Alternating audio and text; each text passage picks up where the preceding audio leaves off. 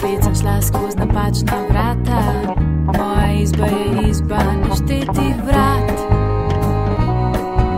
Nikoli ne izberem pravih, tistih, ki pripeljejo naravnost ven. Najhuje je takrat, ko budne prepih od zunaj. Takrat se naenkrat odpro vsa vrata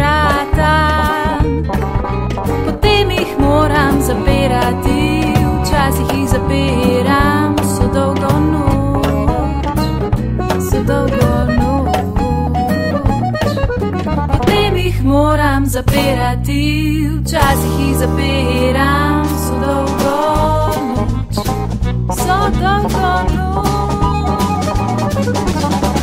Ko zaprem prva,